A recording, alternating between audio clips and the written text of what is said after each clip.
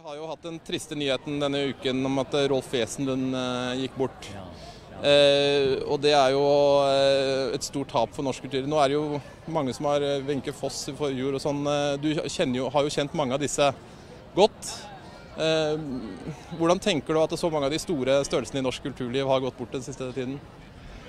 ja, det er jo for så vidt Når man kommer opp i den alderen, så er det selvfølgelig en naturlig ting det at man, at man ikke er mer og blir borte. Men det er klart det er jo trist.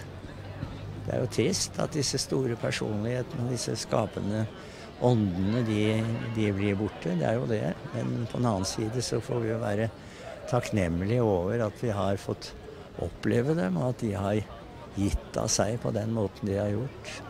Så det gjelder vel heller å se og ta vare på de gode minnene og alt de har skapt, enn å gå liksom og være lei seg for at de var til. Tvert om, man må være glad seg for at de har vært til.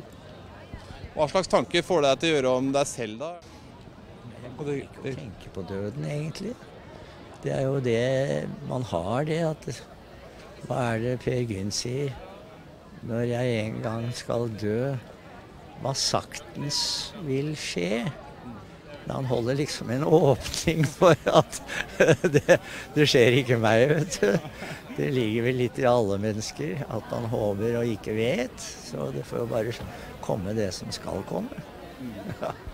Ja, du er jo uh, full vigør og har ikke noen planer om å gi deg som skuespiller. Nei, ikke så lenge det er liv i meg. Og jeg får tilbud av det. Jeg Kan jo ikke begynne å spille for meg sjøl heller, men jeg må jo få tilbud. Da. Så lenge jeg klarer å huske å være oppe, så syns jeg det er moro, det. Jeg liker å jobbe.